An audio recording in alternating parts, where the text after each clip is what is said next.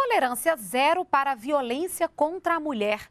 Durante uma solenidade para lembrar os sete anos da Lei Maria da Penha, a presidenta Dilma Rousseff recebeu um relatório com recomendações para reforçar o combate a esse tipo de violência e melhorar o atendimento às vítimas. Essa vendedora de Brasília, que pediu para não se identificar, tem 38 anos e é do signo de Leão.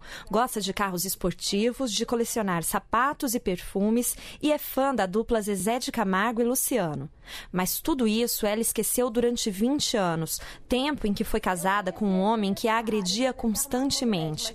Era estuprada, torturada psicologicamente, ameaçada de morte e apanhava do marido. Eu vim lembrar disso agora com a nossa conversa, porque eu tinha até esquecido entendeu?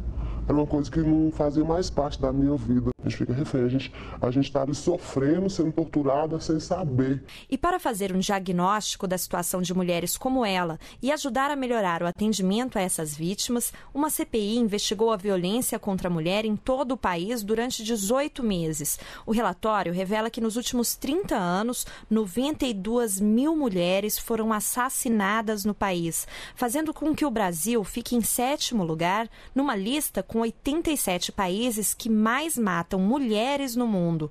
O documento traz 73 recomendações, como alterações na Lei Maria da Penha, e foi entregue nesta terça-feira no Congresso à presidenta Dilma Rousseff. Em nenhum outro momento do Parlamento Nacional viu-se gesto como este, que simboliza o compromisso da presidenta com a luta das mulheres brasileiras pelo fim da violência. Assumo com todos vocês, desde já, o compromisso de utilizar os subsídios concretos contidos neste relatório para aprimorar políticas que temos implementado e para combater de forma efetiva a violência contra as mulheres. Durante o discurso, a presidenta Dilma Rousseff destacou a importância da Lei Maria da Penha, criada há sete anos. Segundo ela, a lei criou bases para que as agressões contra a mulher passassem a ser tratadas como crimes. Uma das estratégias do governo para enfrentar a violência contra a mulher é o programa Mulher Viver Sem Violência.